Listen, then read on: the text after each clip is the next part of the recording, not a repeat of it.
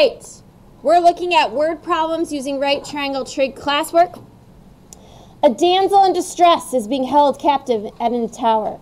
Her knight in shining armor is on the ground below with a ladder. When the knight stands 15 feet from the base of the tower and looks up at his precious damsel, the angle of elevation to the window is 60 degrees. How long does the ladder have to be? So here's my tower. I'm 15 feet from the base, where the knight is. Angle of elevation from the ground is 60 degrees. We want to know how long the ladder is. So the ladder is hypotenuse, adjacent, or opposite. What's x? Hypotenuse. So 15 is the adjacent. So which trig function are we going to use? I like to write it on the top of my paper. SOH, CAH, TOA. And it is cosine. So cosine of 60 degrees equals, yeah. It's 60 degrees, so that's what the little other zero is. So cosine of 60 equals 15 over x. I know we don't like x on the bottom, but what do we do?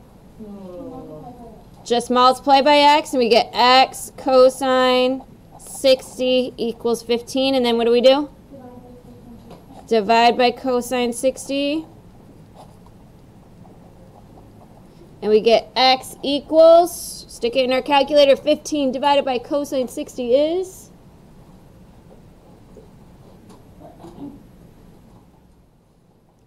Thirty feet. Questions about that one? All right, I want you to try to set up the next one on your own and then check with me. Ready? Suppose you're flying a kite and it's caught at the top of a tree. You let out all 100 feet of string for your kite, and the angle that the string makes with the ground is 70 degrees. Instead of worrying about how to get your kite back, you wonder, how tall is that tree?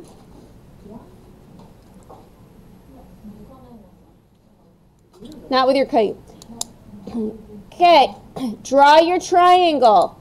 Put the angle in the correct place, the 100 in the correct place, and your x in the correct place. Once you have that, label it opposite, adjacent, or hypotenuse. Figure out which trig function to use, set up your equation, and solve.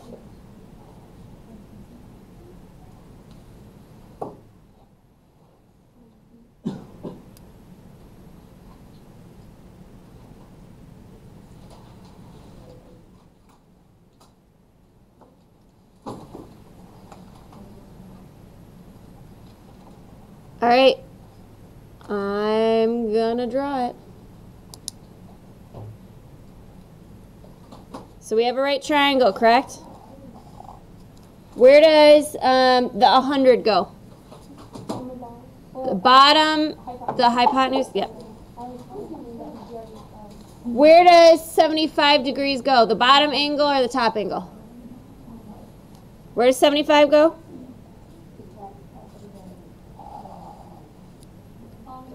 Bottom, because it says with the ground, right? And we're trying to find how tall the tree is. So that goes on the side or the bottom? Side. Okay, so we know 100 already. We said it already was the hypotenuse. X is the opposite. So what uses opposite and hypotenuse?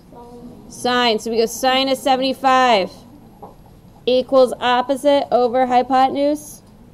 Multiply both sides by 100. 100 sine 75 equals x, so x equals approximately. What do we got, guys? Put in your calculator. 96.6 feet. Okay, the next one has kind of a weird picture, so we're going to do it together. A submarine traveling at a depth of 200 feet dives at an angle of 15 degrees with respect to the line parallel to the water surface. It travels a horizontal distance of 1,500 feet during the dive. What is the depth of the submarine after the dive? Okay, so here's the surface of the water. We're already 250 feet below the water. Okay? Now, from here, we're going to dive down. Here's the horizontal. We're diving down at 15 degrees. So we're diving down 15 degrees from the horizontal.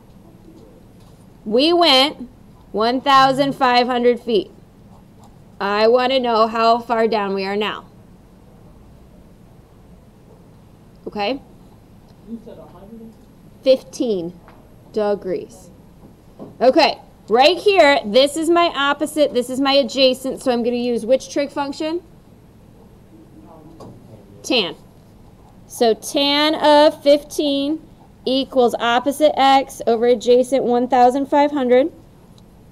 So we times 1,500 on both sides. We get 1,500 tan 15 equals x, so x equals, put that in your calculator, 401.9.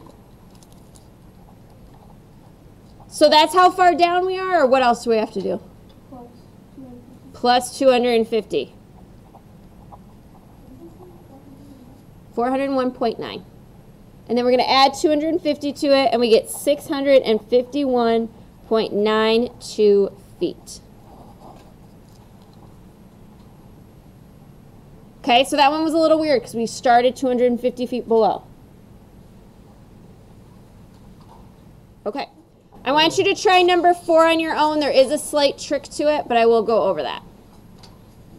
Brothers Bob and Tom Katz buy a tent that has a center pole of 6.25 feet high. If the sides of the tent are supposed to make a 50 degree angle with the ground, how wide is the tent? Try setting it up right now.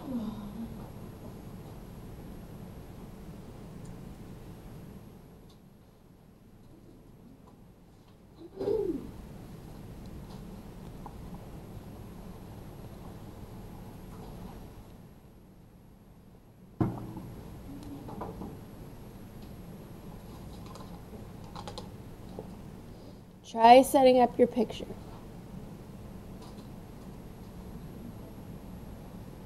You guys can draw a right triangle. I see some of you doing nothing. Draw a right triangle. Where does 6.25 feet go? Where does 50 degrees go? What are you trying to find?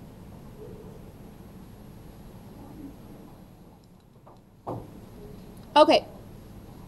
The first thing I want to talk about is it says it's a center pole. So that means the pole must be in the middle, and we're looking at a tent that looks like this, right?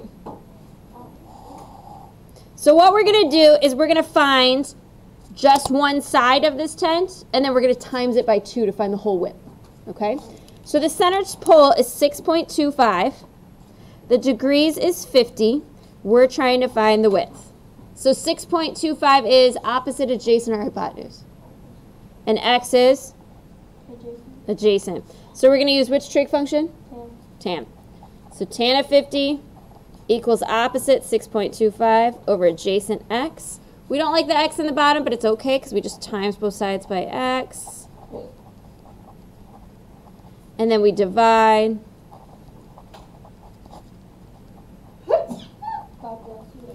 As you're getting more and more used to this, you can just skip right down to here. So x equals 5.24, but that's only one half. So what do we do to find the other half? Times this by 2, and we get 10.49 feet is how wide the tent is. Because it's only half. We, you don't see a tent that's at a right angle like that. Tents usually look like this with the center pole in the middle. So we only have half, so we have to times it by 2 to get the other half because we want to know the whole width. Okay, the back is your homework.